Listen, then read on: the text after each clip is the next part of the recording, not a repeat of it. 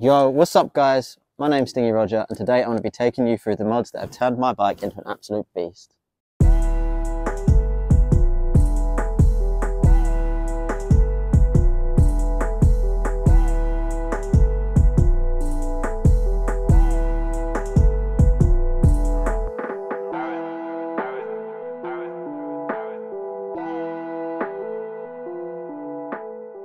So if you saw my last build video, you'll be able to see that quite a lot of things have changed since then. So not only have I made improvements to the way the bike looks, but I've also made massive improvements to the way the bike rides. I'm so stoked with how it's come out and it rides better than ever. So what I'm going to do is I'm going to start at the front of the bike and work my way backwards and I'll be linking everything in the description below in case you want to check out some of these mods for yourselves. So first off, one of the biggest changes I've made to this bike is the brake rotor and the brakes themselves. So if you come closer, you'll be able to see that this brake rotor is actually vented. So it's two layers with a gap between them. This allows for maximum cooling, as well as being floating to stop the heat transfer, creating the disc warp.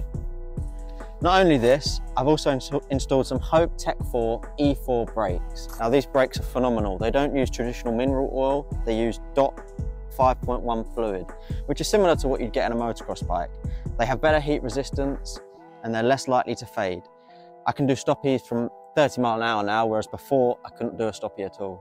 So the Hope Tech 4 levers are fully adjustable for reach as well as bite point. They also feature a bearing in the actual mechanism of the lever pull, so it's silky smooth every time and you get less finger fatigue. This is such a great mod and they come in so many different colours so you can really tailor it to your build. Another mod that I've done to the front is purely aesthetic, but it looks cool, is the Evolve wheel spacers. Now these are also anodized and CNC. You can get them in a variety of colors, but due to the fact that the actual wheel is in front of the forks, when you look down, you can really see it when you're riding. Uh, just a nice little touch, and I'm really happy with how it looks. So next up, the Horn Delete. Now this is actually a 3D printed part, printed by 3D Part Shop, and I love it. I hated the ugly bulbous horn at the bottom. It used to fill up with mud all the time. And when you went to press it, it would just go, it wouldn't beat properly. So this looks great. It's really sleek. It looks factory. The fit is great and the quality is amazing. You can barely even see the grains and see that it's printed. So really happy with that. So this is the Evolve Bash Guard. They make them for the Talaria and the Sur-Ron and I did make a video on it the other week on my channel. So go check that out if you haven't seen it already. But this is a much stronger, thicker bash guard which comes in loads of different anodized colors so you can suit it to your build again, much like the brakes. Really pleased with this one. And working our way back again, so next to the anodized bash guard is the 3D Part Shop printed gearbox cover. Now this looks great. Uh, I chose this color to match the rest of my parts. As you can see, there's a lot of red going on, but this keeps it from getting dirty inside while also allowing a little bit of air to vent out of this bigger hole here. It's really, really tough, so you don't have to worry about it breaking. I just think it looks great. It's a great addition to anyone's build. Again, you have the Evolve foot pegs. Now these foot pegs are machined from 7075 aluminium. They're anodized up in loads of different colors and they feature mountain bike flat pedal grub screws. So there's no more slipping your feet when you're going over jumps. And they also have a really stiff spring return. So you're never going to misplace your foot while going down the trails. So between the foot pegs is an anodized CNC peg brace. Now this just stops the peg mounts from bending outwards when you land after big jumps. I do have some new peg brackets coming. Uh, Evolve have some in production and I should have those in a few weeks. So I'll make a new video on those when they come. But for now, I'm really happy with this. And I've noticed a lot less flex actually when going over larger jumps.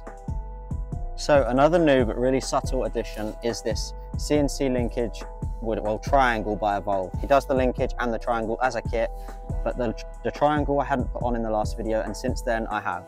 It's completely stopped my suspension from clunking, because it did develop a clunk, and I think it was just play in the bushes, whereas this uses solid bearings, which are much, much better. So next up, and this is a massive change, you would have noticed this straight off the bat, is the Milk Racing 16 inch rear wheel. Now I've gone for the exact same setup as my brother, except with a slightly harder tyre compound. This wheel came to about 300 pounds once it arrived at my door, which I think is pretty good. If you go for something like an SM Pro, they come to considerably more.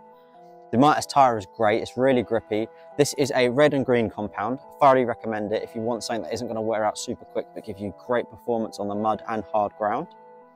This is a 1.85 inch rim and I've got a 90 116 Mitas TerraForce MX tire on it. Um, coming down from the tire, you'll see I also have a Hope Tech 4 E4 brake caliper on the rear as well. Probably one of the most notable upgrades I made on the bike. Phenomenal braking performance. Um, yeah, really pleased with it. I would upgrade the rotor, but the rear just locks up instantly anyway. It wouldn't really make a difference and it's just more expense I don't really need. So on the seat, we now have a seat cover. This is a gripper seat. Like I mentioned in my previous uh, build video, I really wanted to get one. So grippy, the material is really nice. And if you come in close, you'll see they're all tiny little circles. So lots of seat covers just have uh, cloth fabric as grippers, but this actually has the grippy material on the ribs as well. So it really locks you in when you're trying to do wheelies or you're, you're, you're digging into a, a, a steep berm. It's really good and it happens to be in red and white, which perfectly matches my build. So the last upgrade on this list is actually just a cosmetic one, and that is the 3D printed ignition cover by e-bike part shop. Again um, yeah this just really suits the build. The ground is made of the same material as the rest of the 3d parts and i thought it would go well. Uh, it, it, seems to be holding up. It's really strong and it just looks great.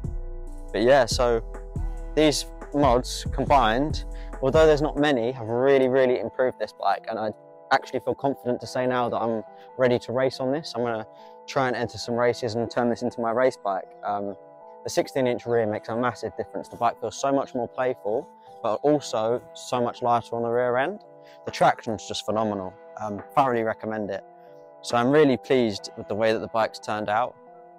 So that's all the recent upgrades that I've done to my bike. I'm really pleased with it. I'm sure you'll agree. It looks fantastic. Um, and yeah, it rides like a new machine. I can't believe it. Uh, so yeah, in the description below will be all of the parts that I've just listed so you can go check them out if you fancy any of these parts for your build. My brother is going to be building up his 72 volt Sur-Ron. He's just had it powder coated, bought loads of new parts. So expect to see a new build and mod video on his bike soon. Um, if you enjoyed today's video, please leave me a like, drop me a comment, and also don't forget to subscribe. So thanks for watching and we'll see you in the next video. P.S. Don't forget to follow me on Instagram at StingyRoger with two R's.